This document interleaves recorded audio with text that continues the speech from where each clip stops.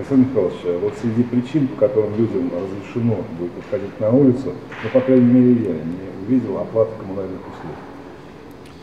Ну, а оплата коммунальных услуг может, может производиться на самом деле по-разному. Да?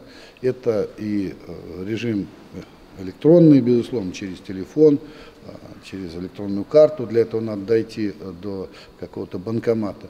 А если мы говорим о том, что можно сходить в магазин, и это необходимость, не можно, нужно сходить в магазин, но близлежащий, а не ходить по всему городу в поисках там, одной пачки чего-то как, или одной буханки хлеба, то, а, понимаете, и здесь то же самое. Все же должно быть э, в рамках разумного, скажем так. Ну, Близлежащий...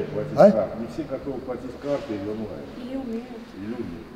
Значит, те, кто не умеет, у нас есть служба волонтеров, Значит, поверьте, мы эту ситуацию решим. Если будем, будем видеть по ходу какие-то там перекосы, мы их поправим оперативно.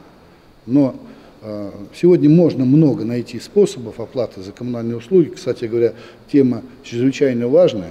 И хотя правительство Российской Федерации большое спасибо, вот подумав, правительство Российской Федерации, подумав и о, а, о том, а, как э, ну, облегчить э, жизнь граждан в этом плане, э, убрали все пени и штрафы, связанные с платежами за энергоносители, в том числе за содержание с управляющими компаниями квадратного метра жилья, обслуживание, содержание и прочее другое, ТБО, вывоз тоже ни штрафов, ни пени не будет. Ну и сразу, конечно, безусловно, э, люди все по-разному это восприняли, платежи пошли, что называется, резко вниз. Мы тоже должны понимать, что мы не можем обрушить систему энергетики, поэтому за потребленные ресурсы мы обязаны платить, обязаны платить, даже в, в, в ситуации с пандемией.